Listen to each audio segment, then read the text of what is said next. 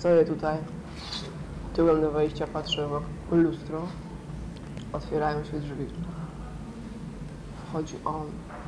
On. Nie mogłam uwierzyć. Normalnie zamarłam, przestałam oddychać. Odwracam się. On.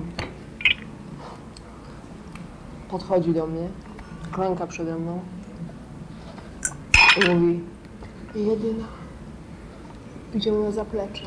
On rzuca mnie na łóżko. Zdziela ze mnie ubranie.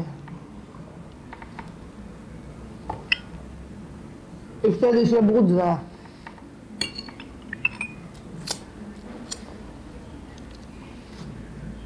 Mogę się położyć.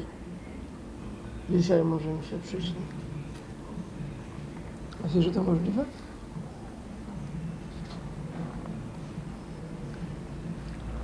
Rysia, dalej mi barszczu.